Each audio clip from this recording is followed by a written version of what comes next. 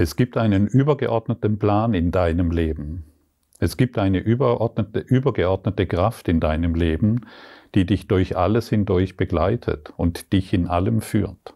Du bist nicht alleine. Du kennst sicherlich dieses Gefühl, wo du glaubst, du bist alleine und du musst dich alleine um diese Dinge und, und um diese Welt und um dein Leben kümmern.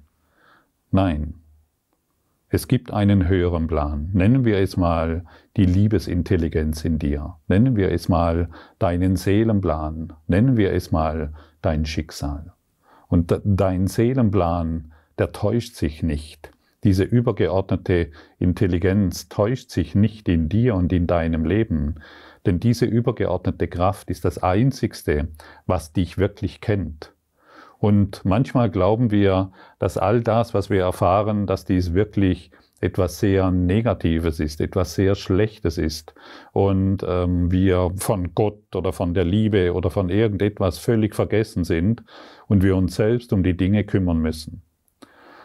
Hör mal, ich habe dieses Prinzip, ja, dass das Universum, dass die Liebe, dass die Seele immer einen Plan für uns hat, das habe ich lange Jahre schon gekannt. Aber ich habe es nicht angewendet, denn ich dachte immer, naja, also ähm, dieser göttliche Plan, dieses hohe Selbst, das kann ja nicht wissen, wie ich diese Probleme hier, die ich habe, lösen soll. Ich muss es selbst tun. Und genau das ist die Täuschung. Das Ego sagt uns immer, das persönliche Selbst, das Selbstgefühl sagt uns immer, ja, wir müssen das selber tun. Denn äh, das kann nur durch, äh, durch das getan werden, was ich glaube zu sein. Und Einstein hat mal gesagt, wir können ein Problem nicht auf der Ebene lösen, auf der es entstanden ist.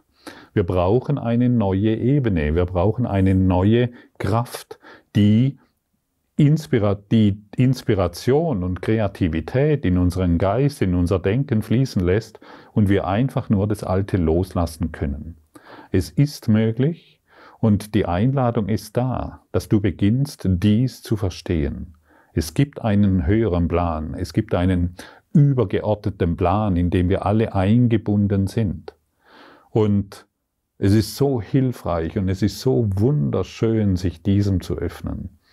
Einfach nur zu sagen, hey, ich will heute zurücktreten und ich möchte dieser höheren, dieser größeren Kraft die Führung überlassen. Ich möchte meinem Seelenweg einfach nur zustimmen. Ich möchte nicht mehr im Widerstand sein. Ich möchte nicht mehr über die Dinge urteilen. Ich möchte einfach nur verstehen, dass ich in Wahrheit vollkommene Seele bin und diese vollkommene Seele führt mich zielgewiss in mein Glück.